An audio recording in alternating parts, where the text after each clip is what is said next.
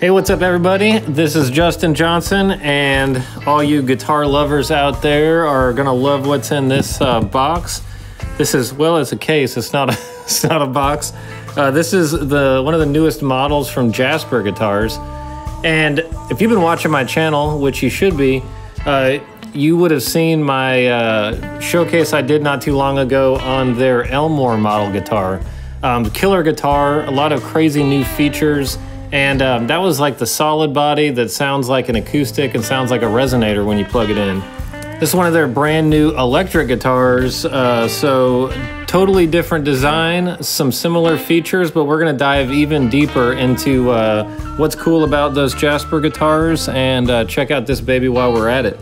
All right, so uh, let's see what's in their case. They always have such nice cases too at Jasper guitars. I love it. Let's check it out. Oh yeah. Man, see what I mean about the nice cases? These are, I guess it's a G and G cases, but um, that is one uh, sweet looking custom case right there, especially with the, um, you know, pretty extreme body design there. It's got some, got some really interesting shapes, so you can tell this case was made it uh, just perfectly for this guitar. Very tight fit in there too. There is one thing uh, before I take this out that I need to get out of the case, and that is something you don't normally have with a guitar, and that is the coin. What is the coin, you may ask? Good question. Um, I'm gonna show you what this does a little bit later. All right, so I'm gonna put the coin away for a second. For now, just uh, looking at the guitar, let me tell you a few things about it. You know, one of the main things that really distinguishes Jasper guitars from other guitar companies and other guitar designs is this uh, resonator plate on the back of the guitar. And uh, we're gonna kind of dig into this here in a little bit. Um, and I'm gonna open this up and actually show you what's going on in here. It's got a patented chambered body inside. It's got um, a device too here, which you screw in using that coin. And so when you turn that, um, it actually turns a uh, kind of like a bolt that bolts into uh, the internal block in there. And that changes the tension on this carbon fiber resonator plate. And so that uh, affects the tone and it also affects the level of sustain that you get from the notes. And so it's just this whole new device that uh, Jasper Guitars, uh, you know, invented. And that is really like the, uh, the key to what makes this guitar so much different than other electrics. The coin is the key.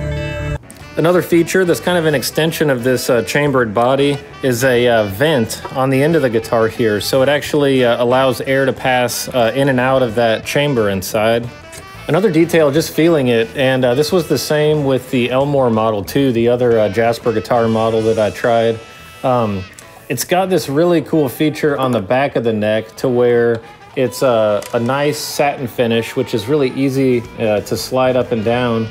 Um, but that satin finish turns into a gloss finish up at the headstock. It has kind of like a gradient here where it's smooth, uh, I mean like shiny, and then nice satiny smooth the rest of the way down the uh, back of the neck.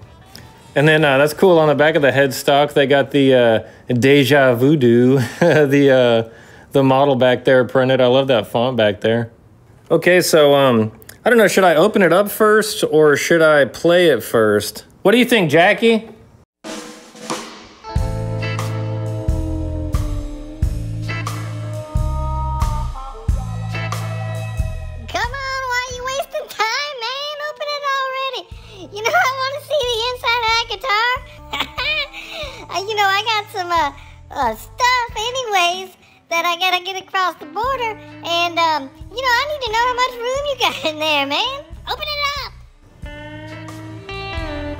Well, Jackie wants me to open it up first, so let's see what this baby's got in here.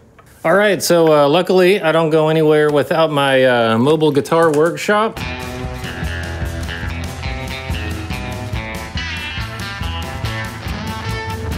Let's break her open.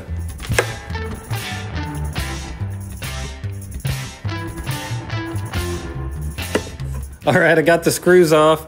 I'm gonna use that coin and start unscrewing this bolt back here.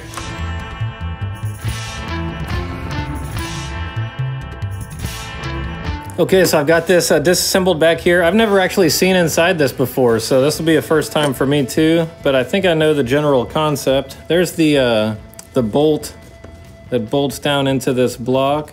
And um, then there's this part, the plate. And um, good thing is if you ever lose your pick on stage, you've always got a backup. So that's good for giant guitars. The uh, carbon fiber plate back here, let's take that off. And um, there you go. You can see, again, very chambered body here, um, almost like a semi-hollow. But this is uh, one of the really interesting components right here. It's a solid brass block. That is a huge block too, and it's right under that bridge. So with the hardtail guitars, what that mean, means is that the strings go through the body, then they come out the other side um, from the bridge, and then, you know, then they go down the front. But what's uh, good about a hardtail design is that because those strings go through the entire body, it transfers and kind of grounds that resonance into the body of the guitar.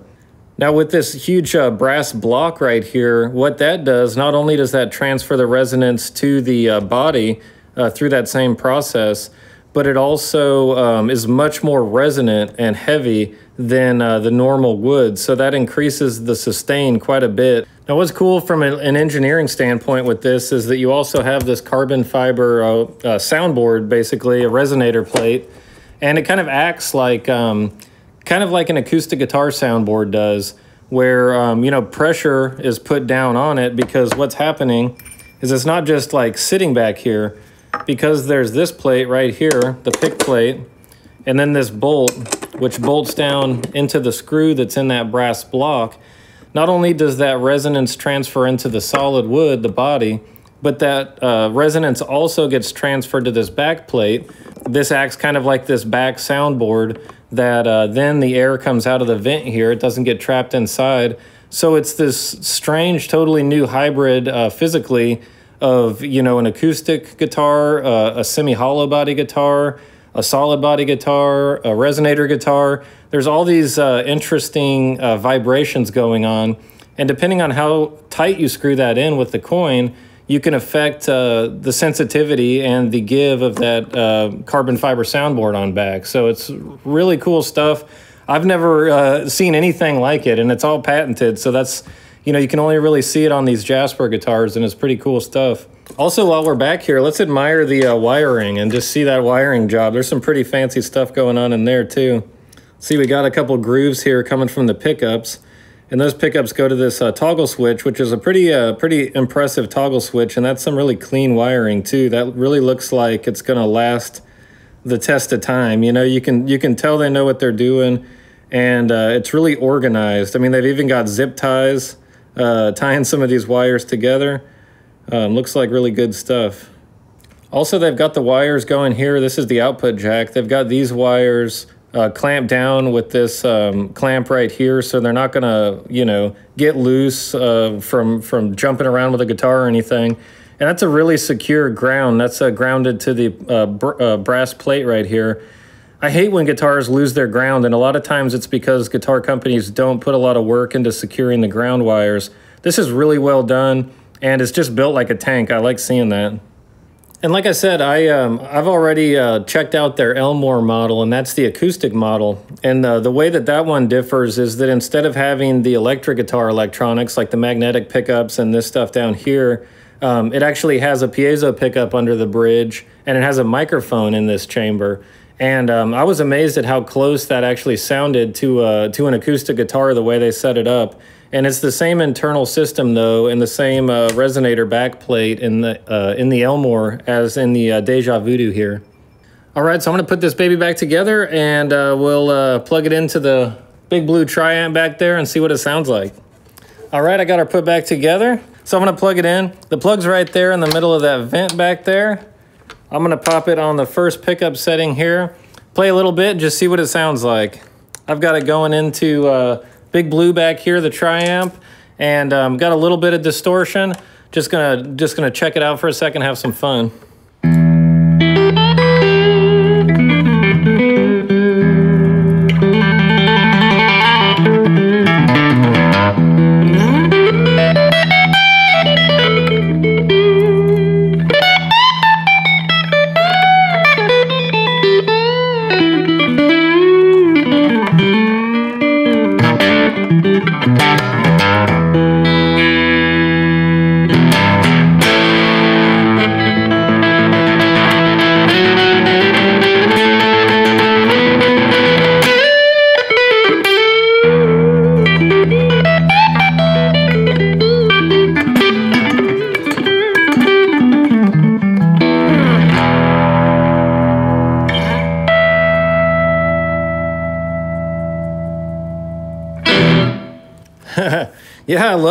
It's so responsive. That's uh, one of the things that they put a lot of work into, I think, with this design, with the pickups, with the electronics, is um, not just getting sustain, which there's a ton of sustain out of this, but getting all those details, all the nuances of every every string and every note. And um, I can already tell uh, just a great job with that. And uh, let me check out the volume knob and just see how, again, you know, I've got a little bit of uh, a little bit of distortion on, a little bit of gain. Um, I want to see how it responds to uh, the volume changes and how that affects the tone and the output. All right, so I'm going to start out uh, full throttle uh, all the way up with the volume knob. I'm also all the way up with the tone knob, but um, I'm going to dial that volume knob back and we're going to hear the changes.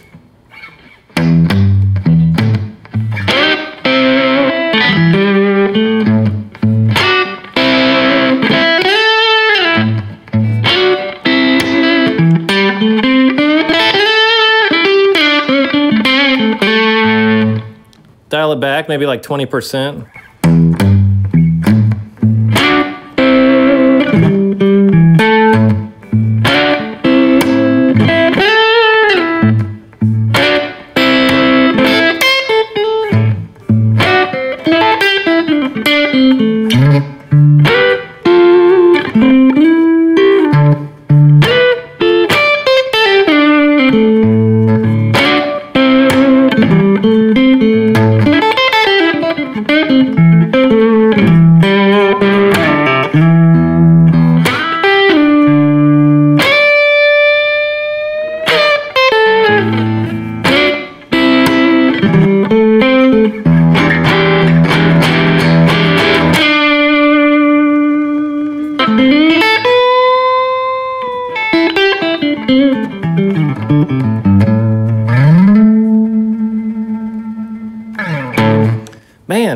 I'm blown away, you know. Um, basically, when you're lowering the volume like that, you're kind of dropping the output a little bit from the pickup to the amp. And um, I'm not losing any clarity. I'm not losing any sustain. Um, the the built-in like sometimes you can crank an amp or, or, throw some overdrive on it. You get some some of that kind of like artificial sustain. You know, it still sounds good, but this sustain really comes from the guitar, and I'm noticing that a lot. Like you notice it in your fingers, and when you hit a string, and it just responds. It gives you what you're what you're wanting from it.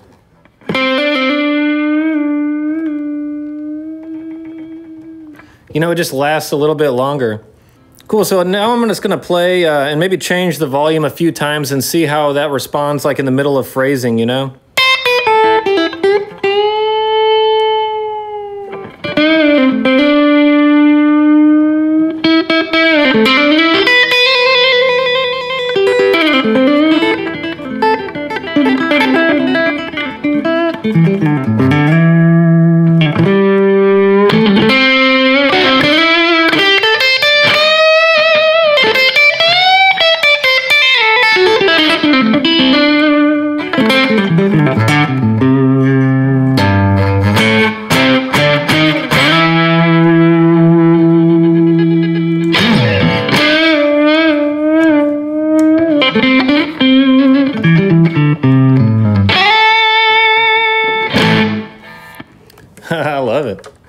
Such an easy volume knob. I mean, it's like it holds position, but it's super easy to turn. You can really do volume swells uh, really nicely.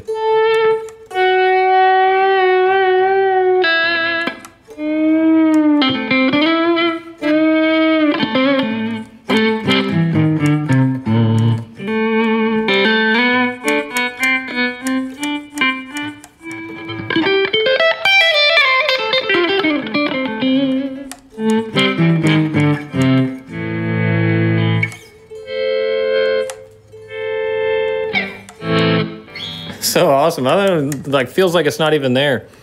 All right, so again, everything's been just on this neck humbucker, and while I'm uh while I'm there, let me try to get some of that, you know, like darker, like Clapton kind of woman tone. I'm gonna dial that tone all the way back and just get it all the way on the muddy side.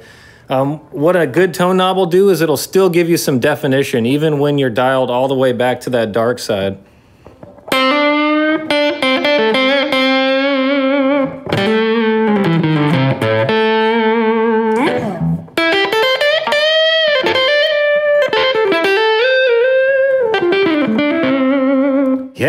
That that moany sound, you know. I'll dial a little bit brighter.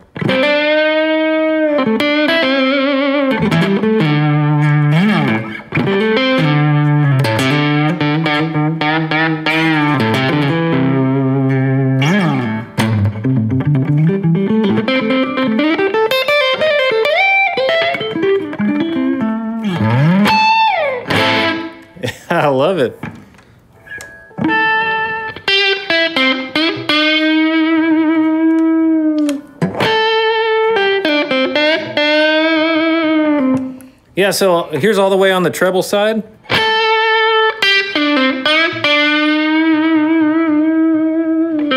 And then all the way on the mellow side.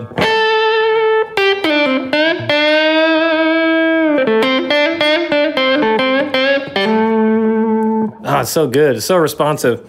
These are Lollar pickups also. Um, I guess they're low wound humbuckers. And uh, while I'm talking about these, you know, we got a neck and a bridge pickup, but there's a five way toggle switch on this guitar. The first position here is the neck humbucker. The second position is uh, a series uh, pickup uh, option. And so basically that kind of turns turns it into one big pickup, um, gives you a totally different sound.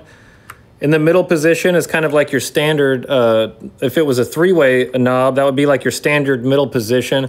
That's both humbuckers engaged, but as separate pickups. Over here, um, you know, basically almost all the way to the end, but not quite, is an out of phase setting, and that's sort of like the Peter Green tone. Um, you don't get that on a lot of guitars, but um, it's got a really cool tone. And then back here is your classic uh, bridge uh, pickup position right here. So let me go through and give you a little uh, taste test of each of those pickup settings. You've heard the uh, neck pickup, but I'm just gonna start right there and uh, do a little riffage.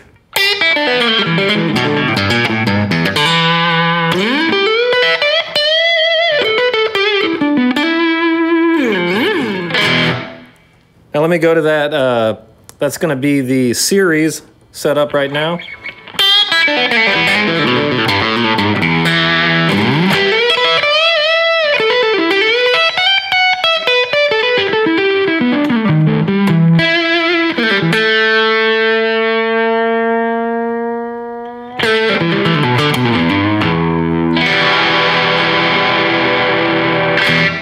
Oh man, it wakes it up. It brings it to life, you know. And again, that that series wiring kind of engages both pickups um, as one. It connects the ground from one to the uh, live to the other, and it basically turns all the windings into one big pickup. And that's a really cool setting. A lot of overtones, a lot of kind of higher overtones compared to just the neck. The neck's a little more mellow. That series is a little more, uh, got some teeth to it. Let's go to that middle pickup uh, position. And this is both pickups um, on at the same time, standard middle position setting.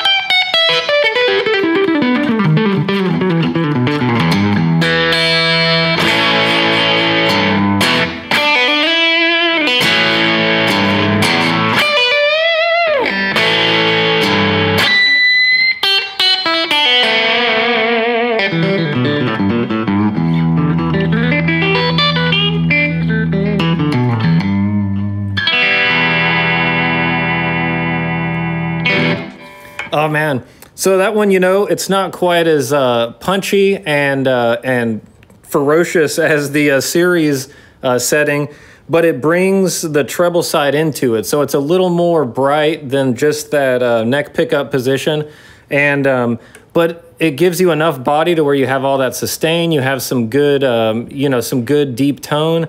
But it just lightens it up and kind of keeps it in that that good mid range there. Great for lead or rhythm on that one. So next we're going to go to that, uh, that Peter Green tone there, that out of phase pickup.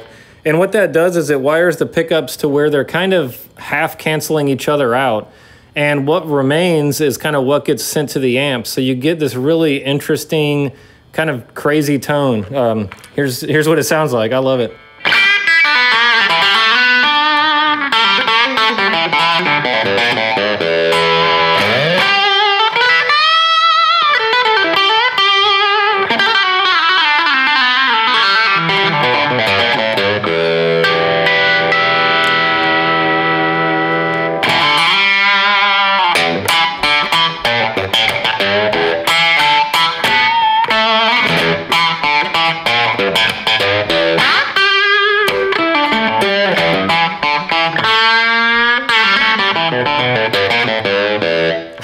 Great. It sounds like I hit some kind of crazy pedal. I mean, the amount of overtones are uh, insane. You know, you get less of the foundational tone of the note, and you get a lot more of these strange kind of uh, overtones. Again, it sounds like an effects pedal. It's got a little nasally vibe to it.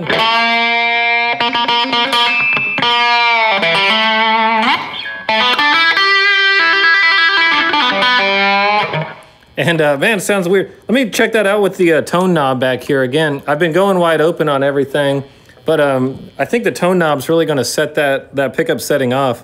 Here's all the way bright. Dial it back.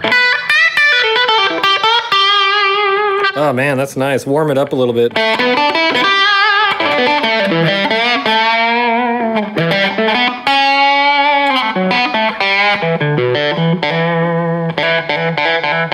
If I pick down here real close to the bridge, I get this really cool tone. It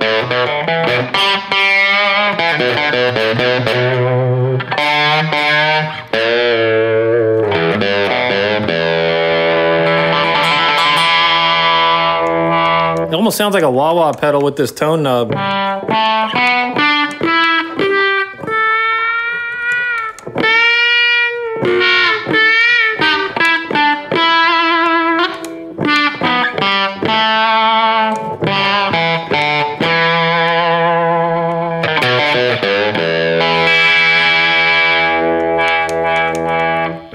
I love that pickup setting. Again, that's the out of phase setting there. And let's go all the way to the bridge now.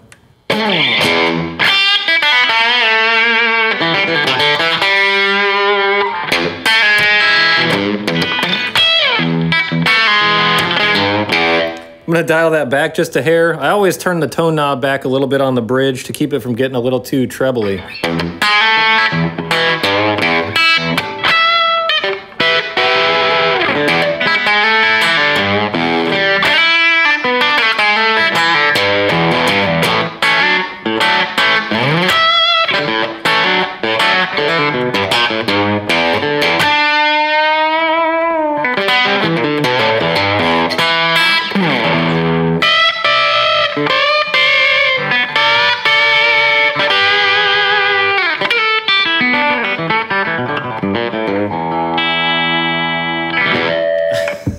Such an active guitar.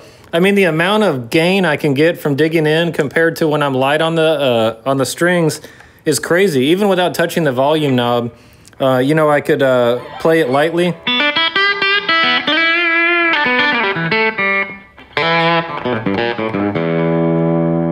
Or dig in.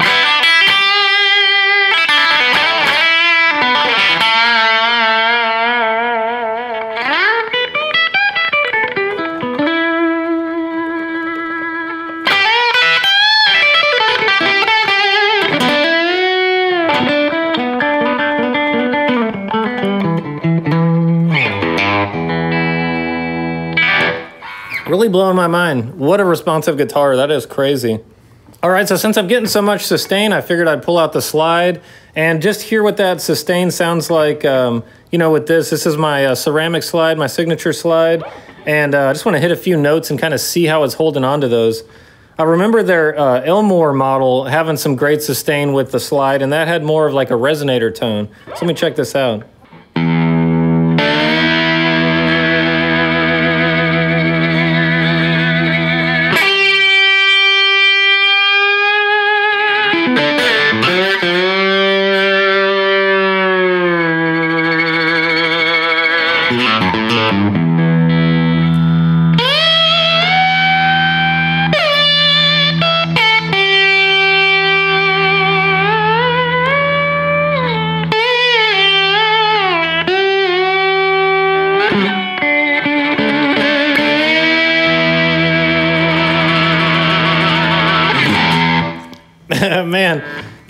It just holds on to notes for those long phrases. And these aren't like uh, heavy strings, you know. Uh, these are these are kind of like medium gauge strings. But listen to it. Uh, you know, you can really take one string and, and follow a phrase up um, just like crazy. The sustain is so good.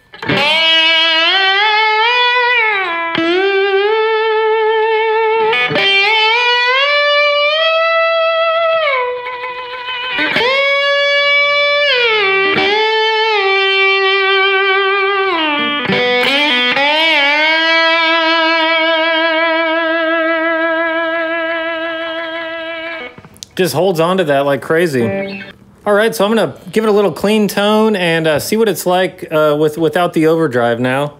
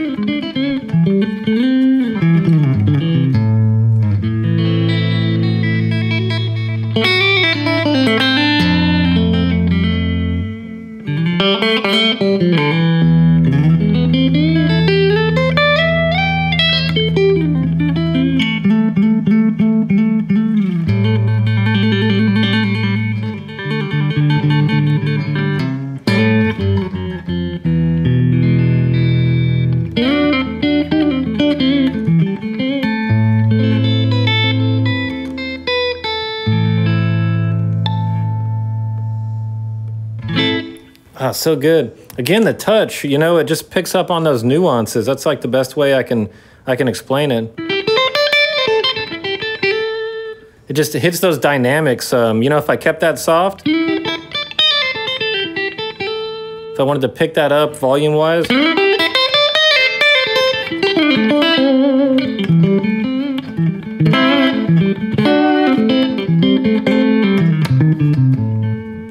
Just always holds on. It's always there for you.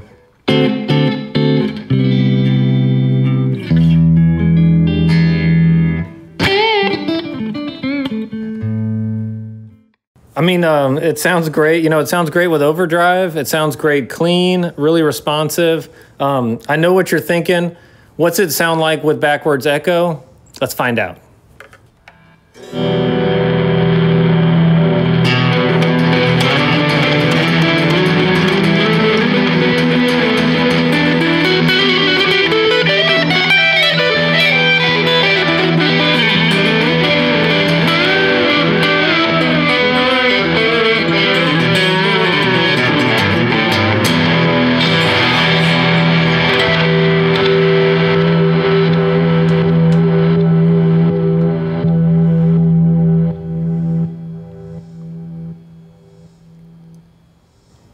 Sounds good.